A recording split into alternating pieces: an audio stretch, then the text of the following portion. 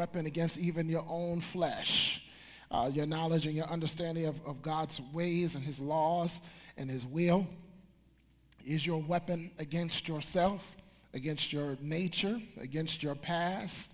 Uh, you, uh, every now and then you have to be reminded of what God thinks about you and how well you know what He thinks about you as you uh, disconnected from His Word. And so the, the knowledge of the Word of God becomes paramount in the life of the believer, uh, really at any stage, but especially as Paul says, uh, as, as, he, as uh, Peter says, rather, as newborn babes desire the sincere milk of the Word of God that ye may grow thereby. And so we are excited for all of our new converts and uh, every single member of this church uh, no matter how long you've been a member, you ought to take it, make it your personal mission. Make, make the new member your personal mission. Make them your personal mission to encourage them. Uh, maybe one person picks them up for church and maybe another person encourages them. Uh, make them your personal mission because if someone hadn't made you their personal mission, uh, who knows if you would still be saved to this day. Amen. Amen. Let's, uh, let's uh, keep our, uh, as we talked about in the first Sunday this year, keep our, um, as Gideon soldiers, they drank from the, the waters, but they put their hand up to their mouth uh, as a dog lappeth, as they kept looking outward let us, let us make sure we remain looking outward uh, through the rest of this year. Amen. God bless you. We're going to get back into our subject on prayer. And I want to call your attention uh, very uh, at the first to uh, Romans chapter number 8. And we've been talking about prayer as we are in the middle of a consecration. Amen. I hope the consecration has been a blessing to you already uh, you can really feel the, the difference in the, in the Sunday service during the consecration week. I, can, I don't know about you, but I, I felt the difference on Sunday, and that is a direct result uh, of, our, of the people of God, your commitment to being consecrated and fasting and praying. Uh, there's, there's something powerful when God's people get together and, and, and enjoying themselves in consecration united, at a united uh, front. Uh, anytime we present a united front to God and a united front to the enemy, anything can really happen. Uh, and so we had some reports of some folks that came in here on Sunday night for Celebrate Recovery for the first time, uh, and they said, what, what is that that I feel? Uh, and, and one person told his, uh, his companion, uh, that's the presence of God that we feel when we walk in here. And people were just in awe walking into an, a, an, an empty church uh, on a Sunday evening, but it wasn't empty. It was still full of the glory of God from the Sunday service. Uh, and so the presence of God, the glory of God makes a difference and we elicit the glory of God whenever we beckon Him through our consecration. And so, uh, if you have not joined in yet in consecration, uh, I urge you to join in, fast uh, a couple of days throughout the week, join in together with the people of God. And if you don't, you are missing out. You are missing out. I, I'm already getting my blessing. Amen. Romans chapter number 8 in verses number 26 and 27. And again, we are talking about the necessity of prayer. Prayer must be a constant in the life of the child of God.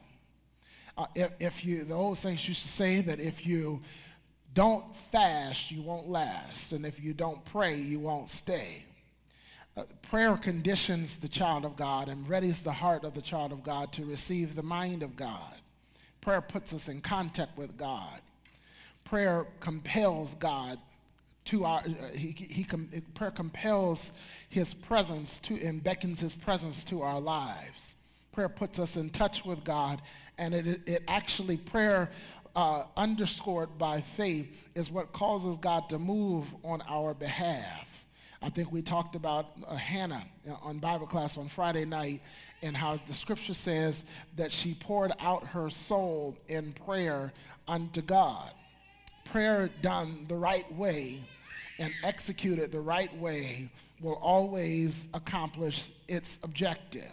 You can pray in the spirit and you can also pray in the flesh. Prayers in the flesh won't crack the plaster above your head.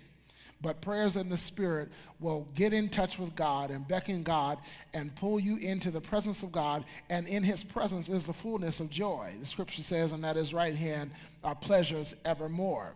Every child of God ought to make prayer a cornerstone of your saved life, your walk with God. And, and prayer must not just be limited to the time that we spend in corporate prayer in the sanctuary. That, is, that should not be the fullest extent or the fullest expression of your prayer life. Your prayer life begins at home. Your first ministry is at home. Your first congregation is your family. You are the pastor. Can we say amen? I, you know, I use that facetiously, but your prayer life must start at home. If, if you don't pray with your spouse and have never prayed with your children, then you are missing an opportunity to invite God's abiding and sustaining presence into your family. The scripture says that a threefold cord is hard to break that make God that third string, that third co- or that third chord, or that third part of your foundation, so that your family then becomes unbreakable. Because the enemy is going to attack it. He is going to attack it and he is going to be relentless. But if God has been beckoned as the cornerstone of my family through prayer, then I have this assurance, as Jesus spoke of his church, and his church is his family, that upon this rock I build my church, and the gates of hell shall not prevail against it, then we could receive that same promise in terms of our family, that the gates of hell shall not prevail against that either, because prayer is the cornerstone that has compelled God to be the foundation of my family. Can we say amen? Amen. So let's read Romans chapter number 8 and verses number 26 and 27. If we have it, can we say amen? Now, I want to begin talking about the purpose of prayer uh, or what prayer offers the child of God. God is the object of our prayer. He is the one to whom we are praying. We don't pray to ourselves and we don't pray to other people. God is the object of our prayer. But we are the recipients of the benefits of prayer. Uh, God, God doesn't need any benefits. He owns everything. A cattle on a thousand hill belongs to the Lord. The silver is mine, and the gold is mine. Uh, thus saith the Lord. The, the earth is the Lord's, and the fullness thereof, the world and they that dwell therein. God owns everything. He, he doesn't need any benefits. The benefits of prayer fall to us. As prayer goes up to Him, he then sends the benefits of prayer back down to us. And there are some major benefits to be gained through prayer, and I want to look at some here tonight. Romans chapter number 8 and verse number 26, let us, let us pick it up. Likewise, the Spirit also helpeth our infirmities. For we know not what we should pray for as we ought, but the Spirit itself maketh intercession for us with groanings which cannot be uttered. And he that searcheth the hearts knoweth what is the mind of the Spirit, because he maketh intercession for the saints according to the will of God. And so he says, likewise, the Spirit, the Spirit, not the human spirit, but the Holy Spirit, God. The, likewise, the Spirit uh, also helpeth our infirmities. Infirmities are carnal weaknesses. There is not a carnal weakness that the Spirit of God cannot help. There is not a deficiency in our nature that the power of God cannot override and give us the victory over. if we don't have the victory, uh, there's a couple of different reasons why. The, uh, maybe one reason why is we're actually not seeking the victory. We're just existing and actually not working towards the victory. We're not ordering our lives in, a, in, in, in construct um, with victory, in a victory formation. You know, when the, uh, you have a football game and after the, the end of the game and the game is already pretty much won, the offensive team goes out there in victory formation. They look like they've won the game. Oftentimes, we, we, we have a posture uh, that, that says that, uh, that I'm still, I'm, I'm going to always be working and fighting and grappling with this trial, with this issue. I'm never going to get over this. I'm never going to get healed. I'm never going to gain the victory. I'm never going to kick this habit. And, and that kind of attitude does not elicit the power of God in our situation, in our circumstances. We have to have a, a trust and a confidence that the Spirit of God that is within us is going to help us to get over and, and actually overcome. The scripture says that this is the victory that overcometh the world, even our faith. You can't overcome if you don't have any faith. You can't overcome if you don't have any confidence in the Spirit of God that is within you. And so the scripture says here, likewise, the Spirit also helpeth our infirmities. For we know not what we should pray for as we ought. We don't know what we should pray for as we ought. Now, we often use this in context in, in terms of, of what we should pray for in terms of other people that I was just calling your name out in prayer and God just laid you on my heart. And I don't know what's going on in your life, but, but God just put you on my heart and I started calling your name out in prayer. And, and that's good and that's a blessing too. But there are also some things within us that we don't know that we should pray for, but the Spirit knows. There are some things in the deep recesses of our hearts and our mind and even our own spirit that, that we are not always aware of or conscious of.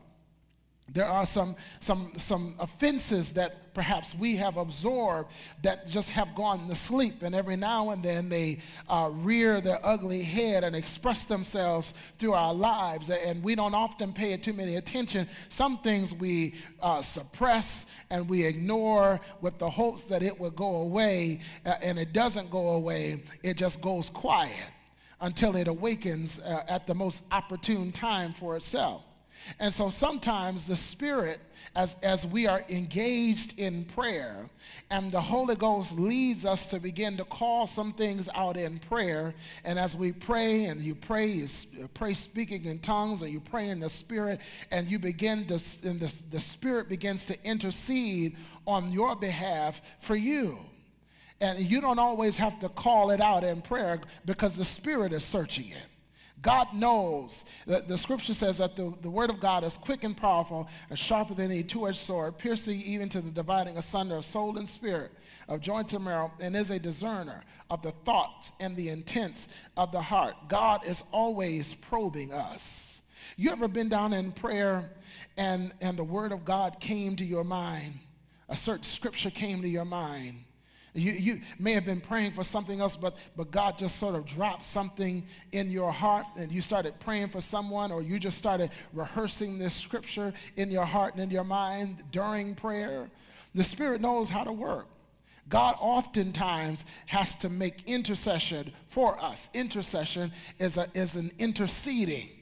Interceding means that I take over.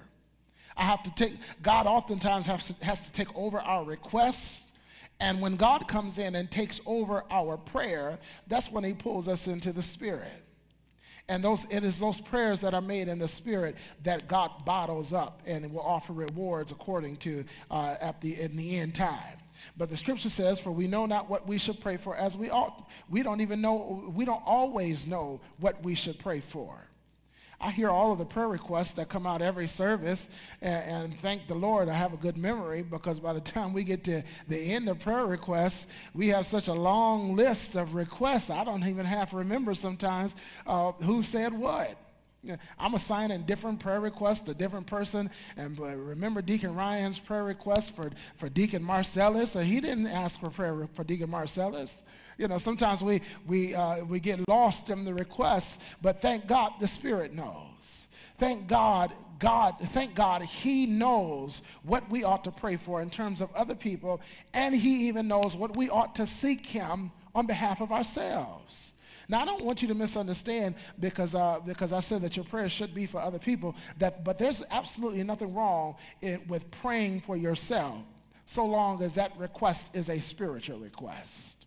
You know, if you're, Lord, bless me, Lord, help me, Lord, build me up, Lord, make me strong, Lord God, make me rich, and all, all of these other prayers, uh, God, God's not, He's not being honored with those prayers, those selfish prayers. But if you pray, Lord, keep me in the hour of temptation, keep me from falling, don't let my feet stumble, those are the kind of prayers that God likes to hear, and those are the prayers that He likes to, He loves to answer. Can we say amen? And so, if you're going to pray for yourself, Jesus gave us the pattern, the outline for how we ought to pray. He says, uh, uh, uh, Our Father, we went over the last Bible class, which art in heaven, hallowed be thy name, thy will be done on earth as it is in heaven. Give us this day our daily bread, and forgive us our trespasses as we forgive our, our trust, those who trespass against us, and lead us not into temptation, but deliver us from all evil. Notice in that prayer, you don't see the word I at all. He says, Lord, he, he says, when you pray, don't just pray for yourself, but pray collectively. Pray for us. Give us this day our daily bread. Give us this day our daily bread. Forgive us our trespasses as we forgive those who trespass against us. Lead us not into temptation, but deliver us from all evil. You know, your prayers often cannot just be for yourself. We have to be concerned about other people. And when we express concern about other people through prayer, then the Spirit of God searches what we need ourselves. As you are pouring out to other people, then the Holy Ghost will pour into you. Can we say amen? Uh, but the Spirit itself making intercession for us with groanings which cannot be uttered. That lets me know that sometimes my prayer uh, that, I, that I cry out to God uh, cannot be subtitled because I don't know, I don't always understand. I, and I don't know if you've ever been so, uh, dis, uh, uh, so, so in deep anguish that your prayers to God are intelligible and that all you do is just sort of cry out to God. Don't you know that God knows what you're saying when you are just crying out to Him?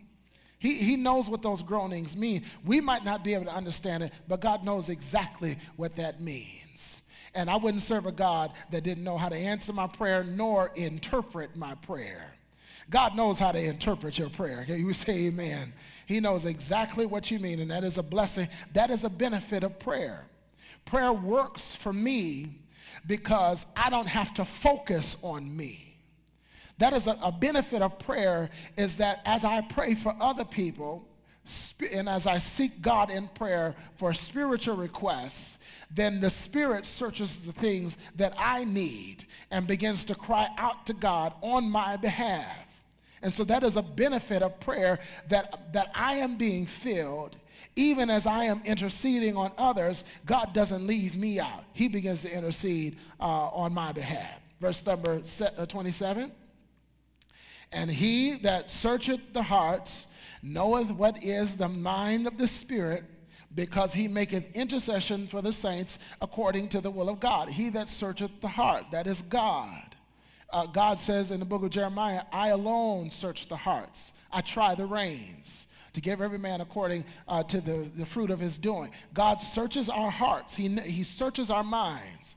He searches the desires, He searches the needs, He searches the deficiencies of our heart and our mind, and He knows what is the mind of the Spirit. He knows the mind that we ought to have.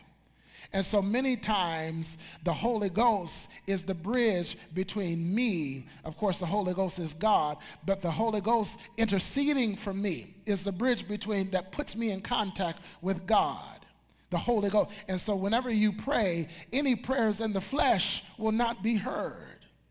Any prayers that emanate from the fallen nature, God is not honoring those prayers. He is looking for prayers that we pray in the Spirit, that is under the influence of the Holy Ghost. All of these prayers, uh, this, this, Lord, get him.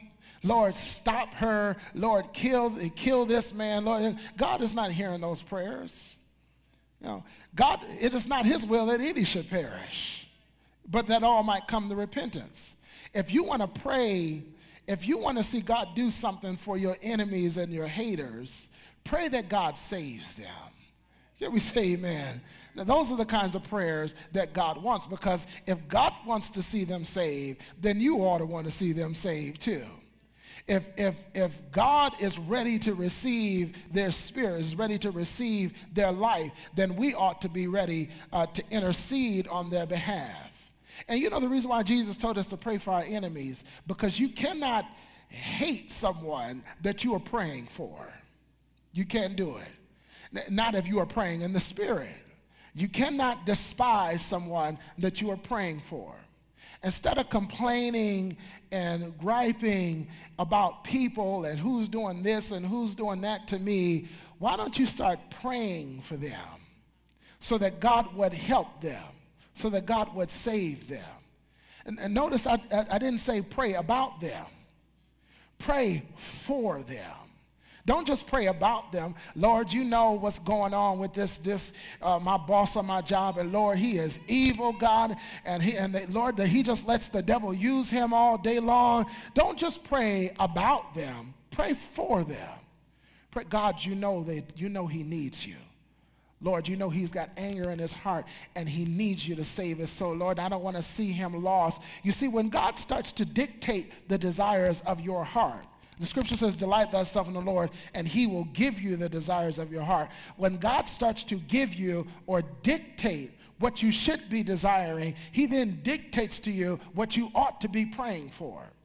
And, and I don't know if you ever found that the closer to God you get, the, the, the, uh, the, the different your prayers become. The closer to God you get, the more effective your prayers become. Your prayer begins to change what you say about other people in prayer begins to change. You don't go to God to complain about a person, but you go to God to pray for this person's salvation, this person's healing, this person's deliverance, or whatever the case may be. And so we don't always know what we ought to pray for, but if we pray in the Spirit, God will take over. He will take over our prayer and use us through us, speak through us to intercede for us to Him so that our prayers are acceptable to Him. Can we say amen? The, the psalmist says, Oh Lord, let the words of my mouth and the meditations of my heart be acceptable in thy sight. I want my, the words that I speak, even in prayer, to be acceptable because there's going to come a time where every idle word that man shall speak, we shall give an account of in the, in the day of wrath. And so God is going to hold us accountable.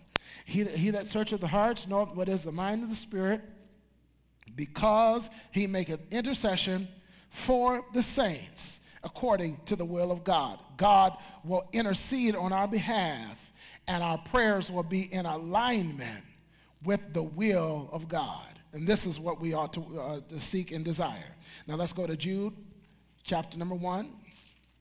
Well, there's only one chapter in the book of Jude. Uh, and so if you get the first or last chapter, it doesn't matter with me, but we're going to read verse number 20. One of the benefits of prayer, one thing that it offers me is that God will begin to intercede on my behalf. Another benefit of prayer here is in Jude chapter number 1 and verse number 20.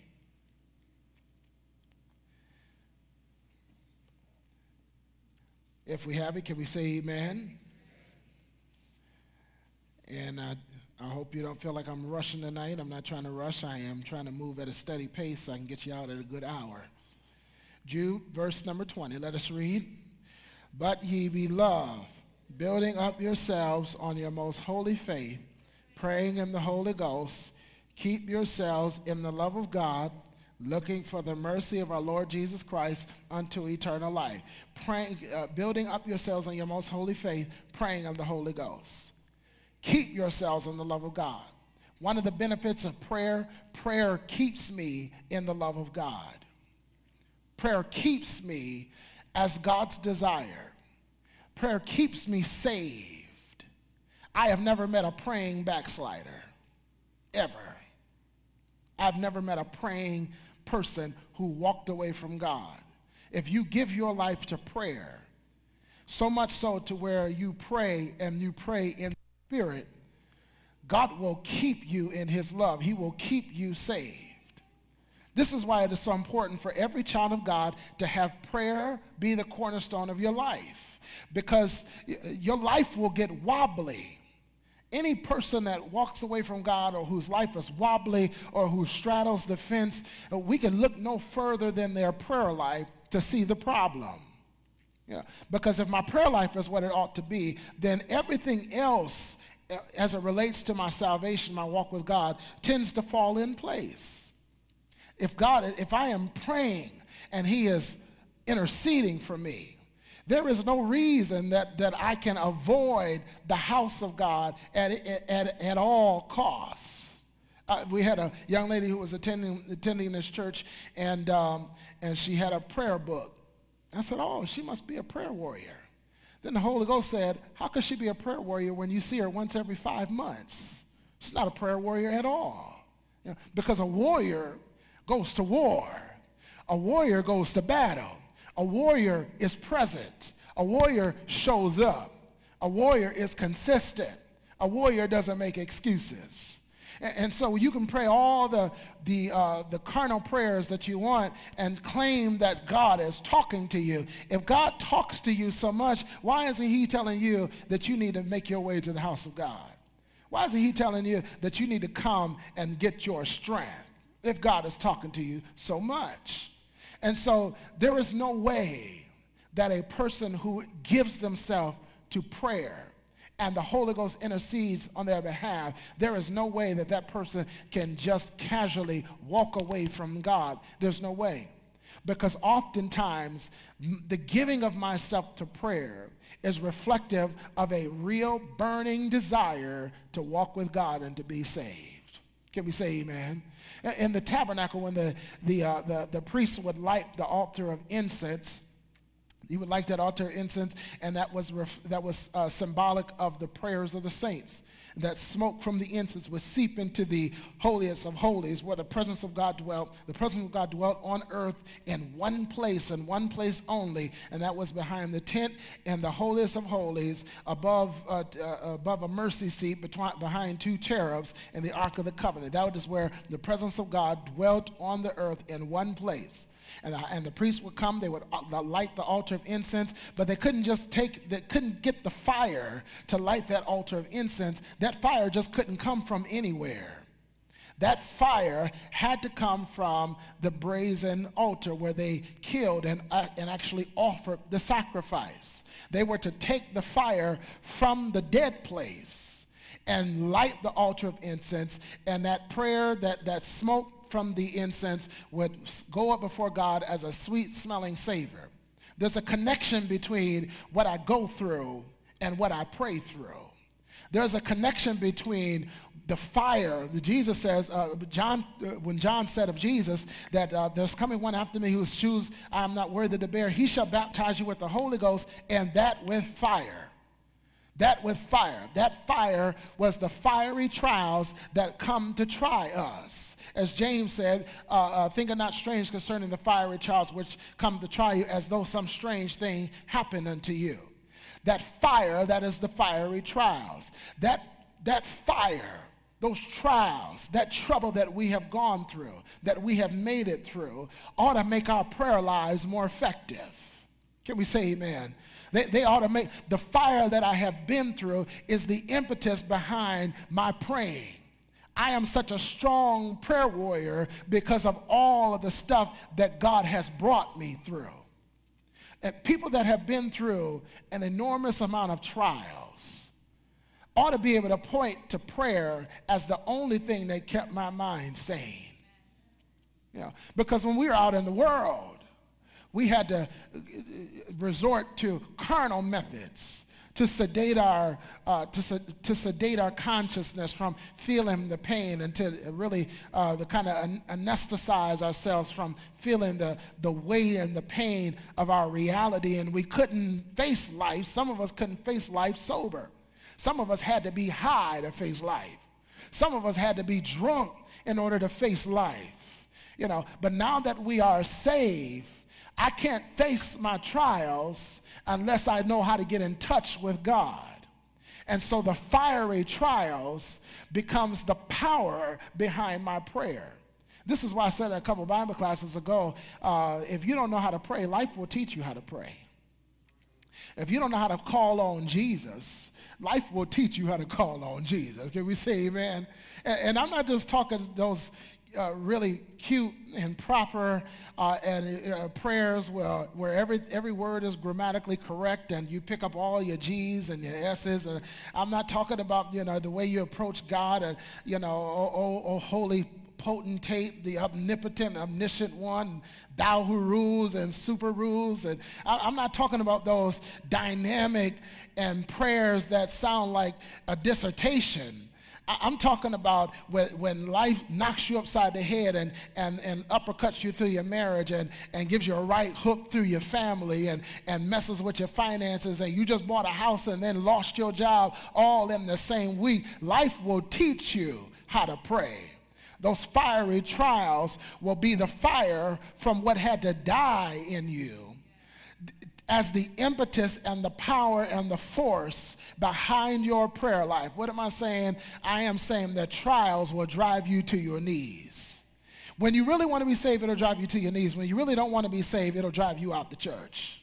And we have seen people that got saved and uh, the, the, the uh, trial came and it drove them out the church. When you really want to be saved, trials will drive you to your knees. You know, and, and, it's, and it's, an, it's an odd thing that some people go through and they want to stay away. Some people go through and they want to just stay home and stay, stay in the bed. And, and, and this is what the devil wants to do because he doesn't want you to have any power, any force behind your prayer. He doesn't want you to be able to get in touch with God, to move God. He knows the power of prayer. And so if he can stop it at all costs, he will. And he'll stop it by getting your mind focused on other things. Many times he'll get us so caught up in what we're going through that we forget to pray. You know, one person said, and then, and then all I could do was pray. Like prayer was their last resort. Prayer should never be your last resort. Prayer ought to be your first, second, third, fourth, and fifth option to make it through whatever fiery trial that has come. Can we say amen? And, so, just like the high, the, the high priest took the fire from the brazen altar where the dead thing died, it took that fire, and, and really consequently, uh, what uh, I believe it was Nadab and Abihu who were sons, uh, Aaron's sons, Nadab and Abihu, they brought before God strange fire and lit the altar of incense with strange fire. And you know what happened? God killed them dead right on the spot. People talk about offering strange fire. The strange fire came from a strange place. It didn't come from where it was supposed to come from. They brought it from the outside when God specifically said, the fire that you light the altar of incense with must come from the brazen, uh, the brazen altar. And, and so the impetus behind our prayer, the power behind our prayer, the force, the energy, the commitment behind our prayer must be connected to the fiery trials that we have been, that we have made it through. And so you must go through something. And so he says here that you will love building up yourselves in your most holy faith, praying in the Holy Ghost, keep yourselves in the love of God. Prayer keeps me in the love of God because it conditions my mind to depend on God. This is the dependency is the language of prayer. It, prayer conditions my mind to depend on God. I want to be the kind of person that prays to God uh, that, that doesn't do anything until I consult God. I'm not just talking about, uh, Lord, what, what, uh, what, what should I eat for breakfast this morning? Or what, what kind of, what color car should, Lord, should I get the candy apple one or the blue one? And the Lord, and, and uh, all of a sudden the windshield wipers on the blue one starts going off. And you say, oh, Lord, that's a sign. No, God does not care what color car you drive. Uh, that's up to you. Can we say amen? There were people serving God riding camels and donkeys, and Jesus rode into, into the city on a donkey. He does not care what color car you drive or what you're going to eat for, or, you know, what your choice for breakfast is or which restaurant you're going to go to. Uh, he's not there for all of that. He is there so that you might have, gain, and keep eternal life. But I want to be the kind of person that consults God, as the scripture says, in all thy ways acknowledge him. I don't want to make a, a decision until I talk to God. And at the very least, the Lord, lead me and guide me, direct me, give me your mind, Give me your wisdom. That's one thing that you ought to be seeking God for during this consecration period is, Lord, give me your wisdom. Give me your mind. I want to have the mind of God. I want to think like God thinks. I want my perspective on my situations to, I want to see what God sees. I want God to change my perspective. Many times, if you change your perspective, you will change your life. It's not what I go through, it's what I know about what I'm going through. It's not what I go through, it's what I believe about God through what I'm going through.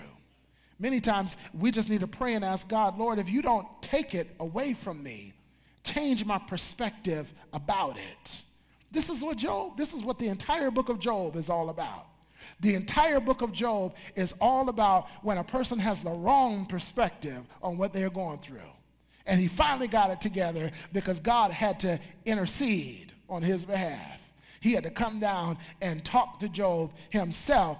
And Job fixed his perspective. And when he changed his perspective, then God blessed him with double what he lost. And all of his family came back. And I don't know if you ever read it. I think it's 42nd chapter of the book of Job. It just seemed like all his family just came out of nowhere. Like they all were waiting on the sidelines, just kind of watching Job go through this.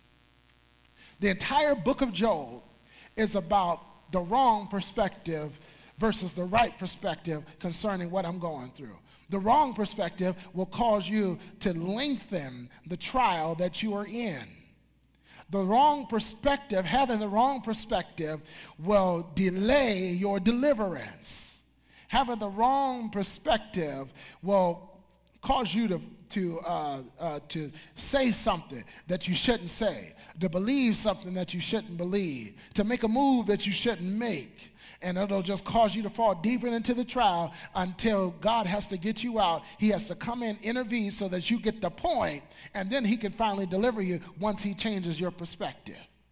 Paul says that, uh, th- that the, the eyes of my understanding being enlightened. Lord, let me see what it is I'm going through and why. Uh, and, and, and, that's one of the first things I ask God whenever I'm going through and in a, in a trial. Lord, what are you trying to teach me? What are you trying to show me? I'm in the middle of a trial right now, and it just, the light bulb just went off today for me. Oh my God, this is why I'm going through. This is why we're going through this. This is why this has happened. Lord, I thank you. You're trying to teach me something. Yeah. One thing that we ought to know about God is that He is always always trying to teach us something. He is always. Why do you think Jesus said, Take my yoke upon you and learn of me? Get connected with me. Let me bear your burdens. Let me make it easier so that you can learn something about me. He is always trying to teach us something about himself. But we miss the lesson because our perspective is off. And so when you pray, the next time you pray, you ought to pray, Lord, give me the right perspective. Can we say amen? Let's go to Matthew 17 and 21. And so from Jude, we understand that prayer keeps us in the love of God, it keeps us in the will of God. Matthew 17, ver, uh, chapter 17, and verse number 21. Yep, yep, thank you.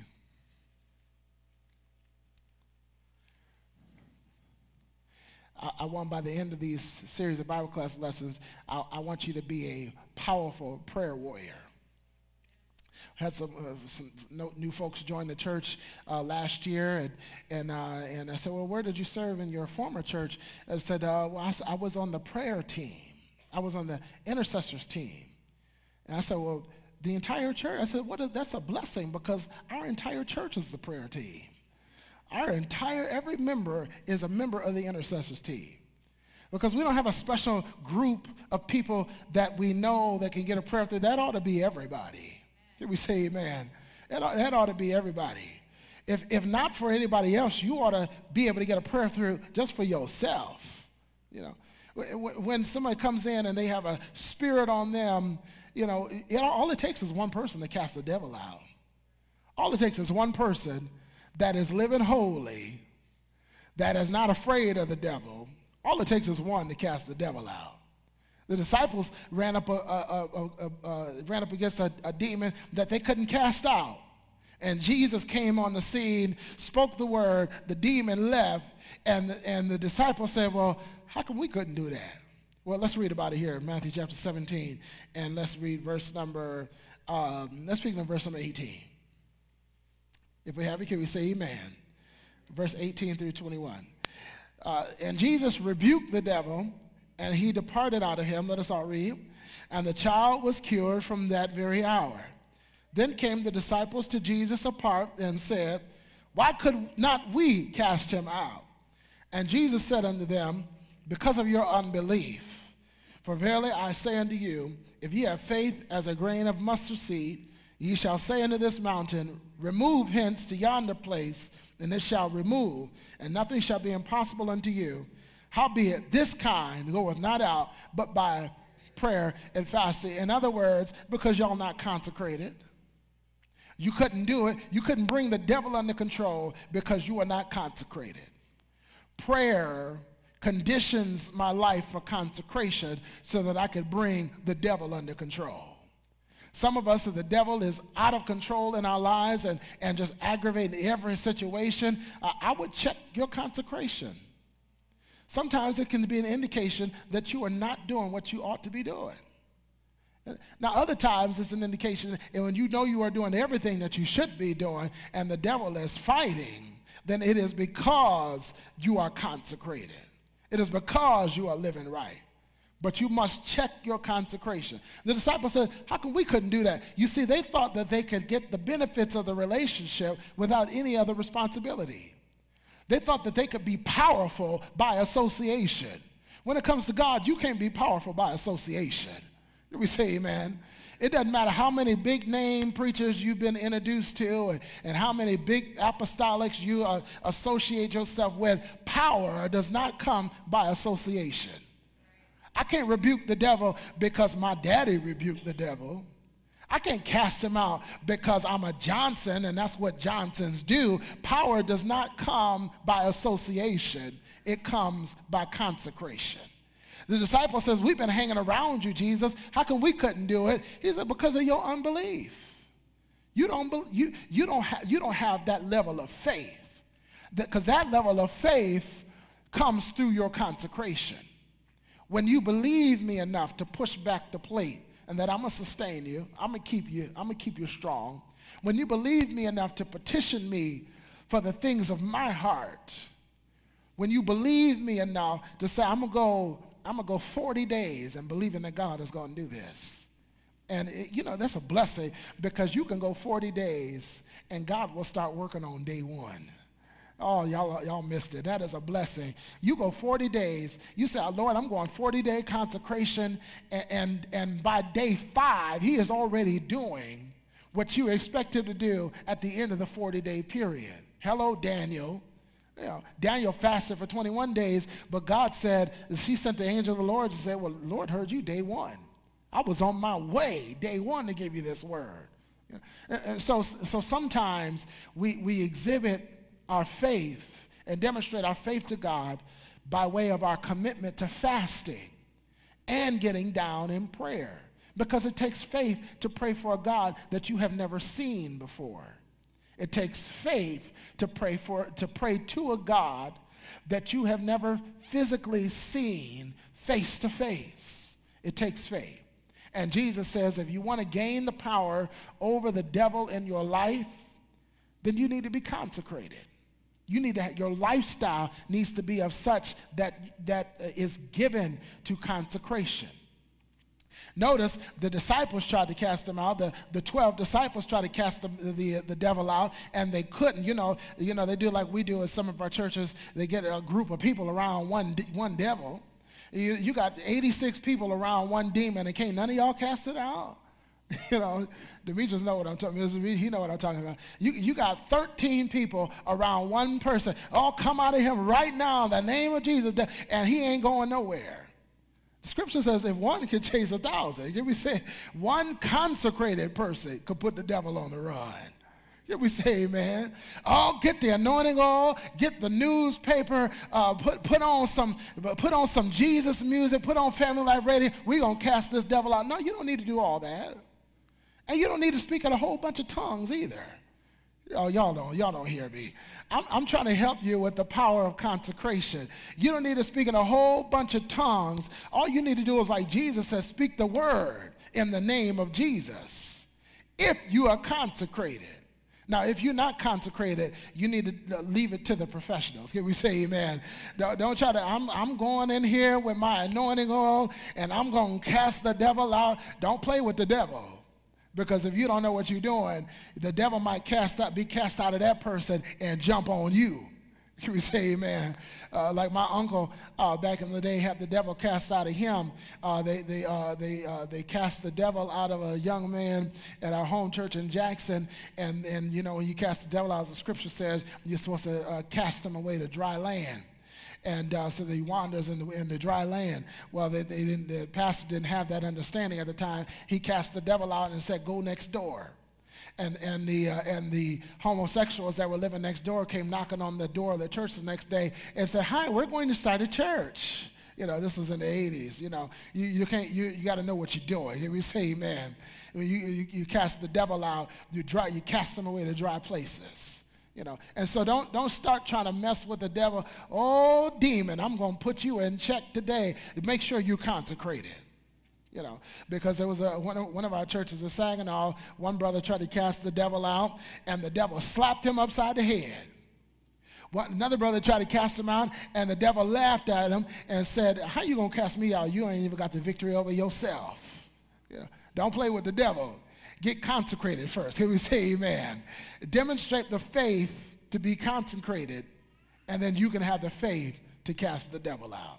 All right? Uh, praying and uh, prayer brings the devil under control in my life. Now, there are some prayer blockers. I think we mentioned this a little bit last, last week. There are some things that will stop God from responding to your prayer.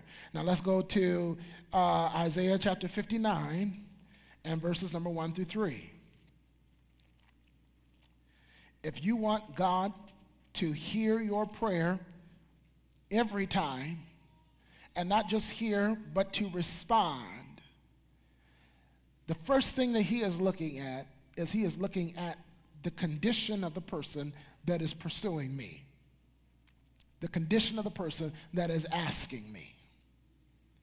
All right? Isaiah 59 and verses number 1 through 3. If we have it, can we say amen?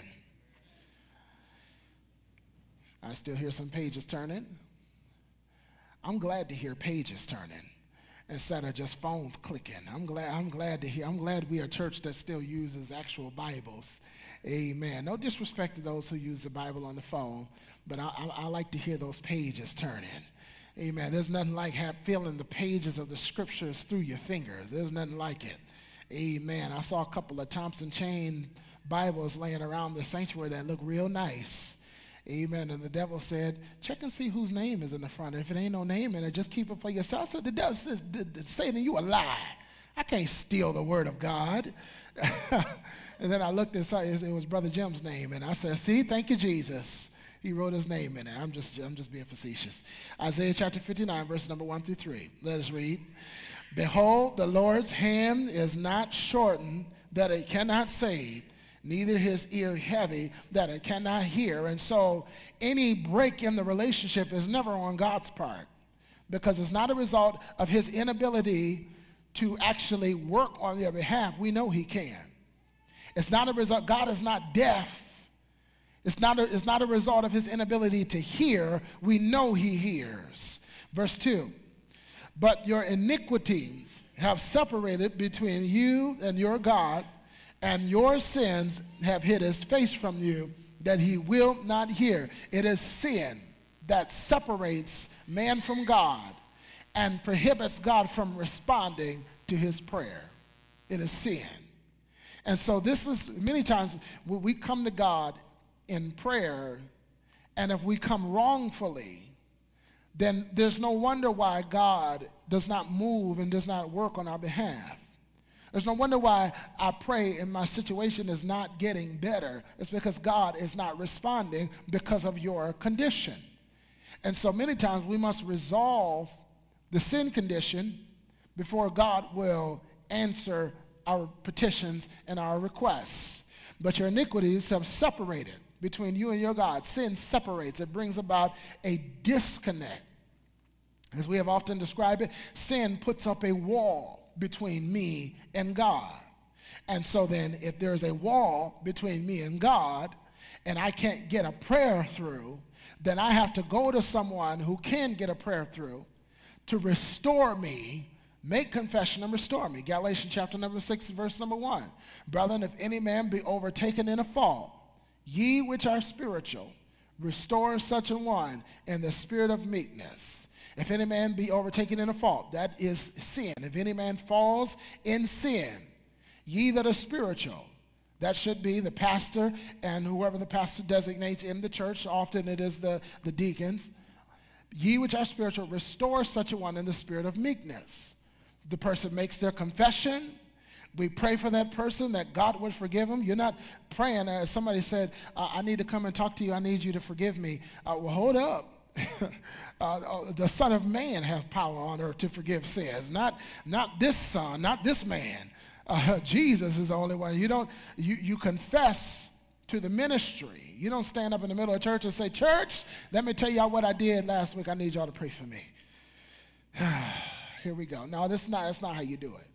You go to uh, those that are spiritual, namely the pastor or the deacons, or those that have been authorized to receive confessions in the church, so that we can pray for you because your sins have separated you between you and your God, that He will not hear you.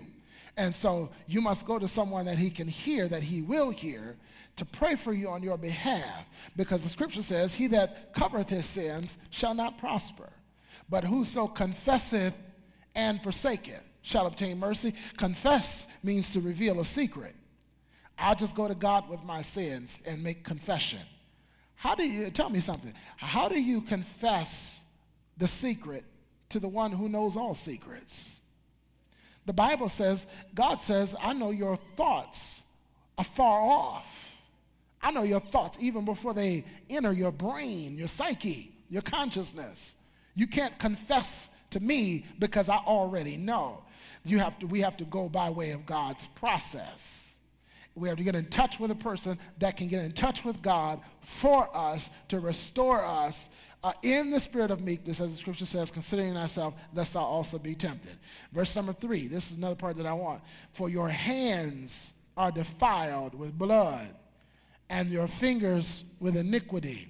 Your lips have spoken lies, your tongue has uttered perverseness, our hands defiled with blood. We've been reaching for some stuff we had no business reaching for. Our, our, fingers with iniquity, we've been involved in some things that we haven't been in, that we should not have been involved with. Our lips have spoken lies. Of course, that is self explanatory. And our tongue has uttered perverseness. This is sin. This was the condition of Israel. And as a result, God says, I am not hearing your prayer. Let's, let's flip to the first chapter of the book of Isaiah and verse number 15. Isaiah chapter 1 and verse 15. Sin is a prayer blocker. Iniquity is unacceptable worship. It is worshiping God or trying to worship God with sin in my life. A lot of these uh, a lot of a lot of churches people worship lift, lifting up hands, which is that's what we ought to do. Lifting up hands is a sign of surrender. But but but for many people, as they lift up hands, it is a sign that God is inspecting. God is inspecting your hands, and He says, "I will not hear your prayer because your hands are bloody, your fingers are filled with iniquity." You, you, haven't, you haven't been living right. And so the worship is unacceptable to God. He says, I'm not receiving that worship. That's what iniquity is. Iniquity is unacceptable worship. Well, here, let me show you. Isaiah chapter 1. Let's read verse number, starting in verse number 13, down through verse 15. Bring no more vain oblations. Incense is an abomination unto me. The new moons and Sabbaths, the callings of assemblies, I cannot away with. It is iniquity, even the solemn meeting. Your new moons and your appointed feasts, my soul hateth. They are a trouble unto me, I am weary to bear them. And when ye spread forth your hands, I will hide mine eyes from you. Yea, when you make many prayers, I will not hear. Your hands are full of blood because they were involved in false worship. And they still wanted to bring sacrifice to God. Their sacrifice to God was a form of worship. Later on, he says, Your feast days, your oblations, your prayers, your sacrifices, they are iniquity before me. God says, All of your worship is unacceptable because of your sins. And so, when I lift up hands in prayer, and if I am in sin, that is a prayer blocker. God will not hear. Now, don't blame me. I, I, didn't, I, didn't, I didn't write it. I'm just, we just, this is, this is the reason why we read it together so that we all know. Verse number 16, here's the remedy. Wash you, make you clean. Someone say, repent. Wash you, make you clean, put away the evils, the evil of your doings from before mine eyes, cease to do evil. And so if we fall in sin, get it off you, put it away, and stop doing it. Uh, whoso confesseth and forsaken shall obtain mercy. Put it away, repent, confess, repent, get it off you, and turn and cease to do evil. And if you do that, God says, I'll hear your prayers again. I'll answer your prayers. But what do we do? We, we get so um, filled with pride. I don't, I don't believe that I should be telling anybody my business. I don't want people all up in my business. God, God is all up in your business. You know, I, I, mean, you can believe it if you want to. But those, Bishop Paddock used to have a saying that God's people, and I mean God's people, will do what is right when they know what is right, and they'll know what is right as they have been taught. As you are taught it, if you do it, you'll be saved. All right, let's go to uh, the book of, um, let's see here. Oh, Lord have mercy. I wrote down the scripture. Uh, 1 Timothy chapter 2, verse 8.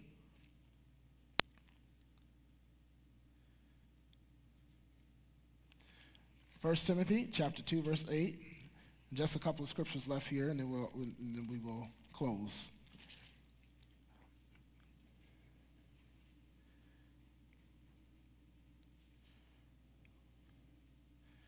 First Timothy chapter 2, verse 8. Remember, Isaiah, he talks about their hands.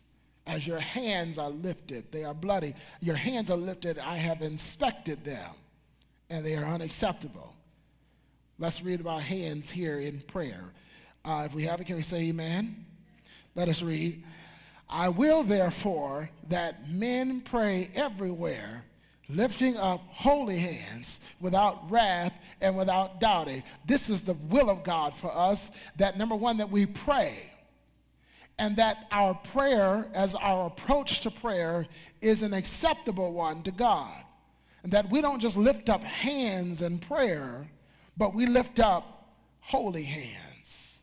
Holiness is, is, is a consecrated, clean lifestyle is that we lift up holy, clean hands, not the bloody, defiled hands that Israel lifted up, but the holy, clean hands that the child of God lifts up as we walk with God. Then he says, lifting up holy hands without wrath and without doubting, without anger and without doubting because those are two things that the devil will try and attack all of us with, and that is our emotions and our faith. He will, he will attack all of us in our emotions, and he will attack what we believe about God. So, so Paul uh, uh, tells Timothy, the will of God is that men everywhere would pray, and that, they, that their prayer would be acceptable, that, they, that the, the, um, the, uh, the framework of their life that beckons them to prayer is holiness. And as they approach God in prayer, they come not driven by their emotions that have been aggravated, not driven by a struggling with my faith, but I come to God emotionally stable and I come to God with faith. This is what God wants. Now, you may say, I'm still trying to get some stuff, work some stuff out in my emotions. That's fine. Just come to God believing. Just make sure you're holy. Can we say amen? Make sure your lifestyle is clean because you want God to hear your prayers. Now, if it's not clean, let's go to James chapter number 4. If those hands are not clean, uh, James gives us the, uh, the remedy.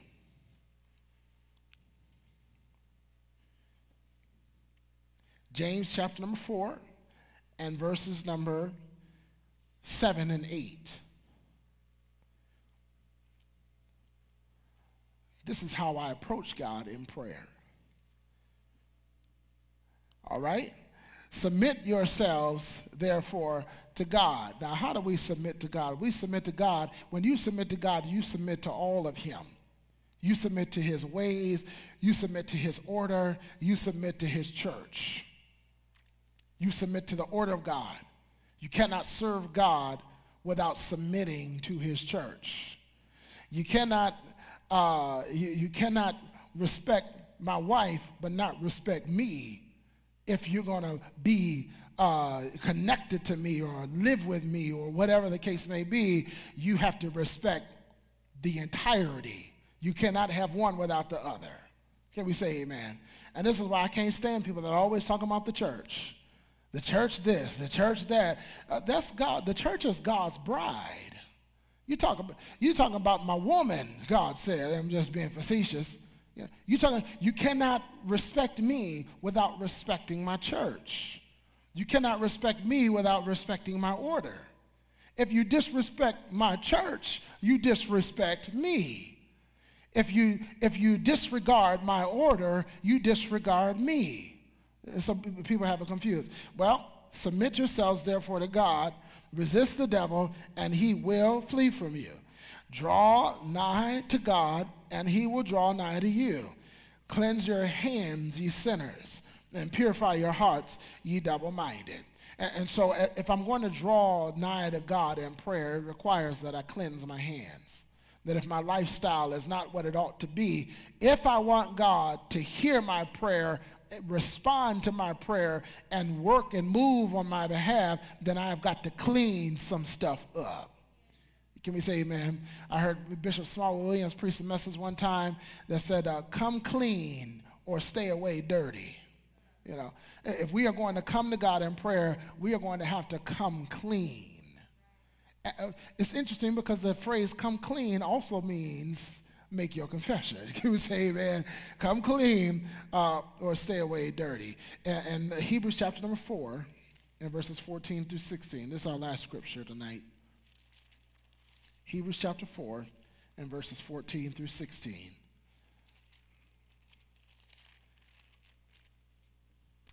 The, the language of prayer is dependency.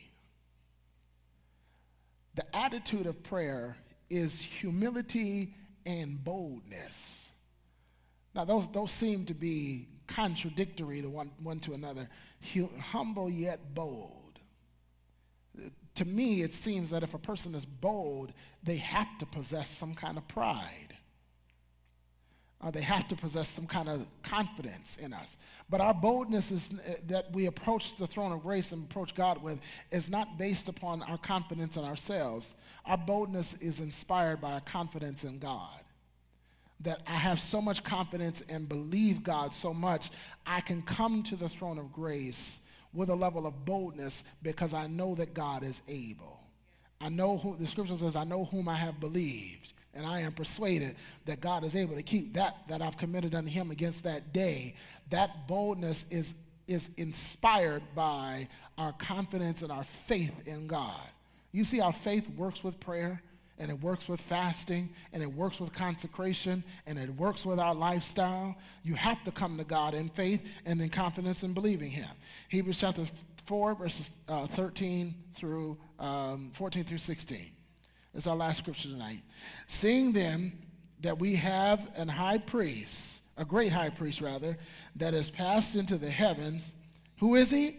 Jesus, the Son of God. Let us hold fast our profession. For we have not an high priest which cannot be touched with the feelings of our infirmities, but was in all points tempted like as we are, yet without sin.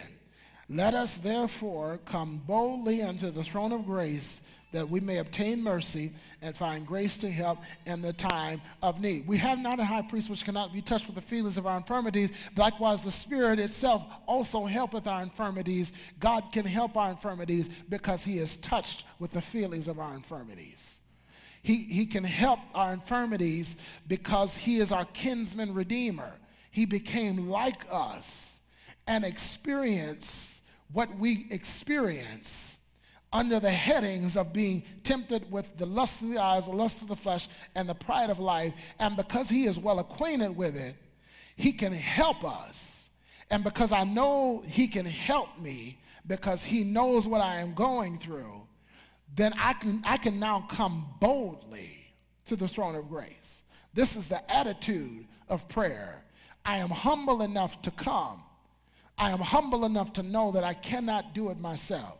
I am humble enough to humble myself and fall on bended knee. It doesn't matter what the posture of prayer is. I, am, I humble myself to come to God in prayer, recognizing that I can't figure it out. I don't have the resources. I don't have the relationships. I must go to the one when my heart is overwhelmed. The Bible writer says, Lead me to the rock that is higher than I. That is humility. Sometimes God is really working overtime to humble you. If you need to be humble, I'm praying for you because you're going to go through some stuff. God's going to bring you down so that you can be humble and get off the mountaintop and get in the valley and pray and say, you know what, I, I am less than nothing. I, I am nobody. I don't know nothing about God. And, and, this is the kind of attitude that God wants from us. Then he says, okay, now I can work with you. But if you coming in beating your chest all big and bad, and I've had some great experience with God and I'm ready to take over the world, God is going to have to humble you. He's going to have to humble you, and, and, and He will bring you down. God will bring you low to humble you. Uh, and so the attitude of prayer requires that I have a, a humble boldness. That I am humble because I know the answers are not in me, but I come boldly because I know the answers are in Him and he has already accomplished it. He has all the power. He is touched with the feelings of my infirmities. And the scripture says, Therefore, let us come boldly unto the throne of grace that we may obtain mercy and find grace to help in the time of need. I'm going to get everything I need. Everything I need is wrapped up in God's mercy and in his grace. Everything I need is wrapped up in His mercy and His grace. When Jesus says, Forgive us our trespasses, when He said, When you pray, pray like this, forgive us our trespasses as we forgive those who trespass against us, that is a beckoning for His mercy. Everything I need from God is either wrapped up in His mercy or in His grace. This is why the scripture calls those two things out. Let us therefore come boldly to the throne of grace that we may obtain the mercy that we need and find the grace to help Grace is strength, it is power, it is the force of God, it is the favor of God. Mercy is God sparing me, grace is God rewarding me. And so I'm gonna, I, I can come boldly knowing that when I come humbly, that the God who paid it all for me, that identifies with me, who is going to help my infirmities because he's been touched with my infirmities, will bless me and, uh, and anoint me with his mercy and His grace. And so I find everything that I need from God in prayer. Now, uh, having this confidence now, we should all be some prayer warriors. Can we say amen? Uh, we have having this confidence, we should all be a little bit stronger after we get out of prayer because, as I often say, if you don't feel better after you have approached the throne of grace, then you, have, you haven't prayed long enough you haven't, you haven't poured your soul out enough because you ought to feel a whole lot better after you get out of prayer. Well, it's 8.30. We've got to close. Are there any questions tonight? Uh, Deacon Blaine? Mm-hmm.